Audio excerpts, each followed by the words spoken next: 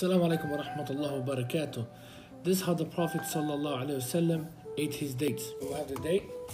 We say Bismillah with his right hand, and then he would put the seed of the date just like this and toss it to the side. Why did he do that? Subhanallah.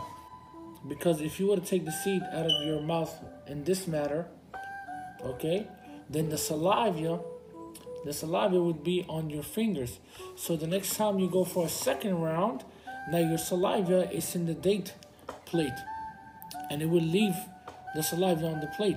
So the Prophet ﷺ taught us this manner to do it this way and toss it so there's no saliva on your fingers.